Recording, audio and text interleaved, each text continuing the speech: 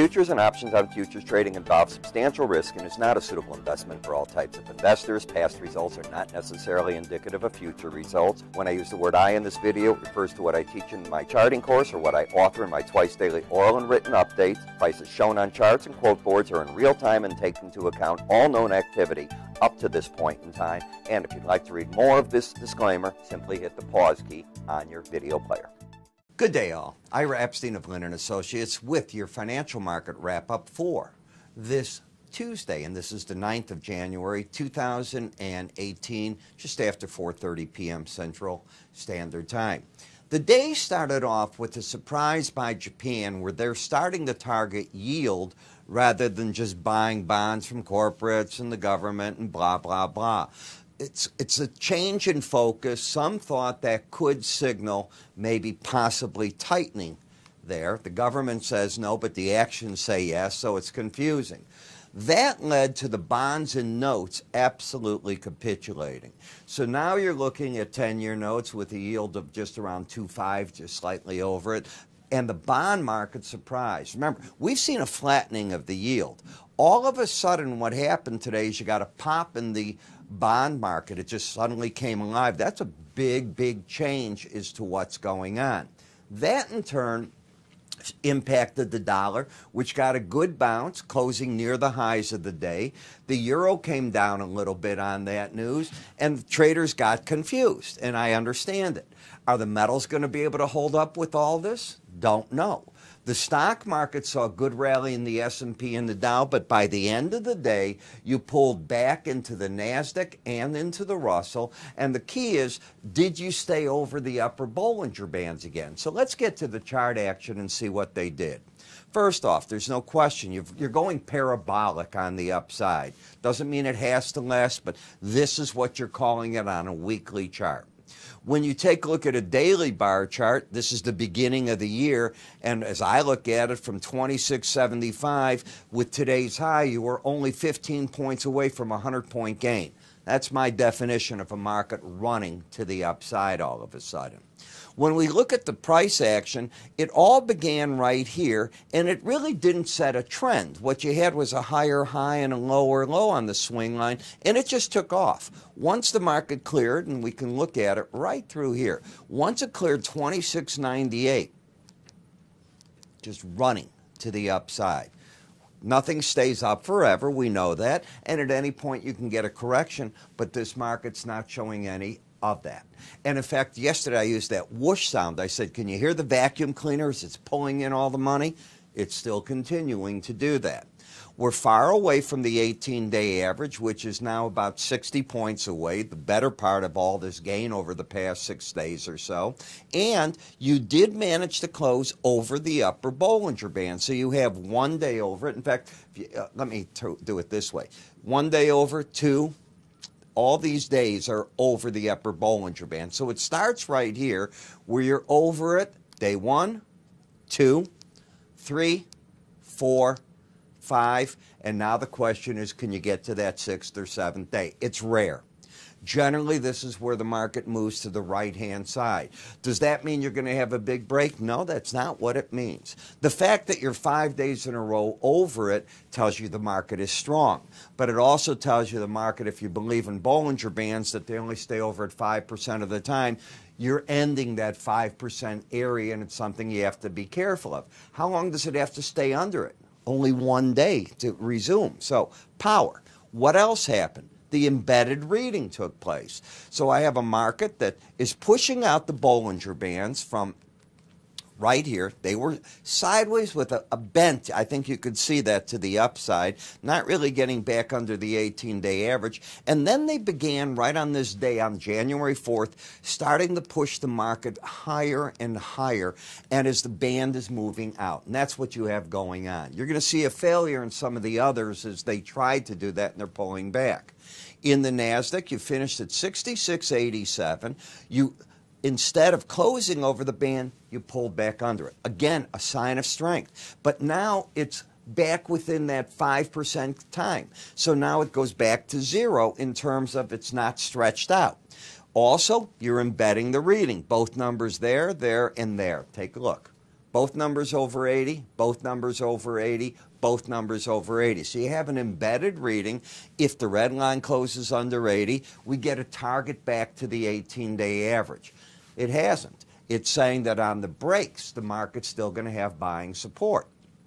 In the Dow, the market wasn't as stretched out as you were in the other two indices. So you've got over the Bollinger Band day one, over it yesterday, over it the day before, and right here, the market closed at 2053, and that puts it at four days over in a row. So all the markets are set to do a, a, move to the right.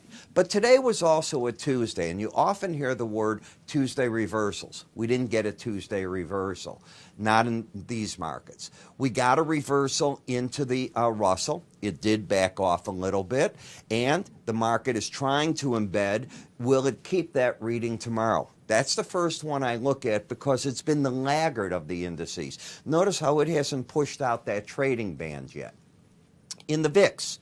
With all the craziness, all you've done is gone back to the 18 day average, and there you sit. I was on today Australian TV, and the announcer's going, Look at the size of the move today. And I'm going, That's what's wrong. People think that when you're up, for example, in the Dow from 25,400 or 300, and you go up 100 points or down 100 points, it's a big move. In terms of percentages, it's actually quite small.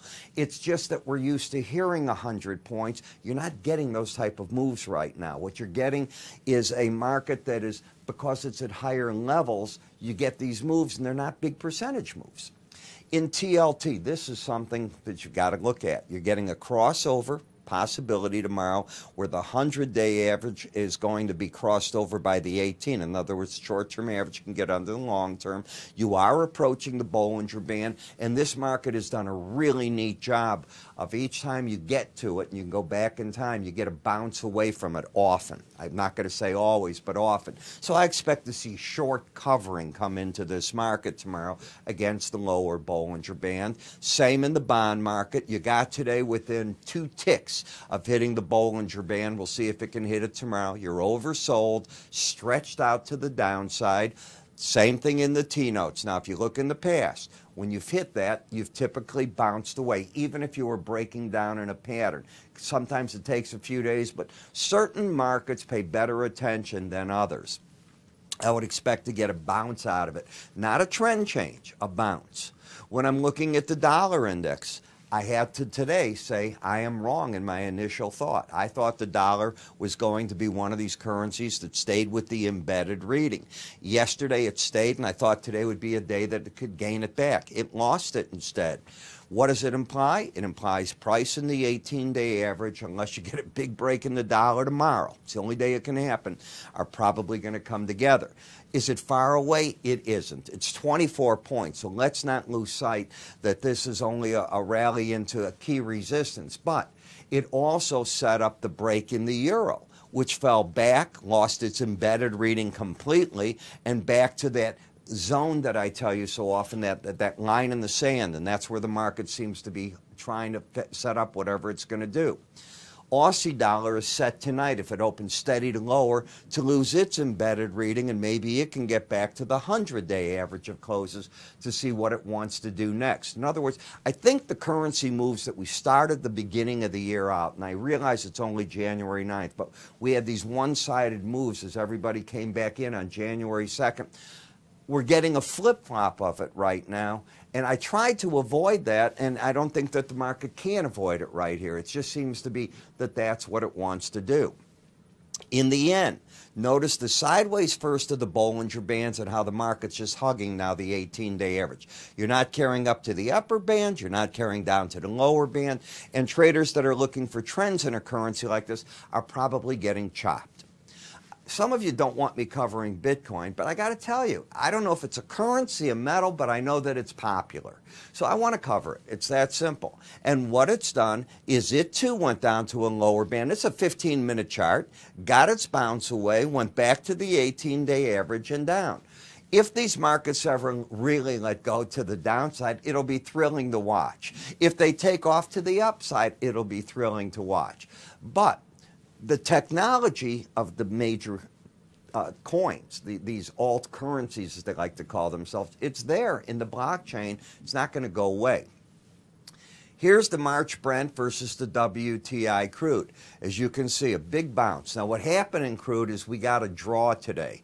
The trade is looking in the morning for only a two and a half million barrel draw on the EIA number. The API number came out with a draw of 11 million barrels. Admittedly, you had a build in gasoline and distillates of roughly 8.9 to 9 million barrels. So net, you really have a 2 million barrel draw. But, but, but, this market too has gone almost into a parabolic move. Take a look at how it's running.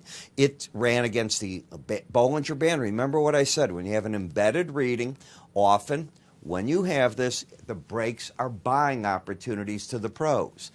Notice how the market stalled, and today, new high for the whole move. If we take a look at WTI, it's the same pattern. I look at the embedded reading, and that's to me what's drawing the market. In the RBOB gasoline, higher lows, higher highs, embedded reading. So I'm viewing this market still upside potential. I thought when it started failing here with the, uh, as you can see, you lost the embedded reading right on this day. You could only gain it back the next day, which it did. Or did it? No, it didn't. Both numbers were not over 80, and the day before they weren't. So don't have them there or there. So the market does it embed. Let's see. Day one, two, three. There's your embedded reading. Here's the embedded uh, continuing, day four. So this area here was matched by right afterwards, just strength in the market, and this market seems to just be running to the upside. Nat gas fell back to that line in the sand, just did this on uh, Friday bounced away from it, and now with the cold weather, snap coming back into play. Yeah, we're going to get warm for a few days, but then if you look at the uh, temperature, we're going to drop again like a rock, and the market got a strong bid off of that today. So you put it together, and what a time in these markets. Volatility, absolutely crazy. So if you're a trader that likes the volatility, you're getting it. And in some of the markets, you're going to get more on Friday because the big grain reports come out. That'll impact the meat markets and the grain markets. We write on all this. If you're an option trader, strategy writing about it. Our crews do all of these different markets. And no, you don't have to get all this. You choose which ones you want. So if you haven't tried the Linn research, it's free to you to give it a try. You'll see what our customers get and what they have choices from. How do you get it? Give us a call. Go to our website, and at our website, you'll see our carousel of free offers. Just simply click on any of the forms there. You'll be able to fill out what you want. Click up here if you're watching me on YouTube. I'm Ira Epstein. You have a great day, and I'll talk to you all tomorrow.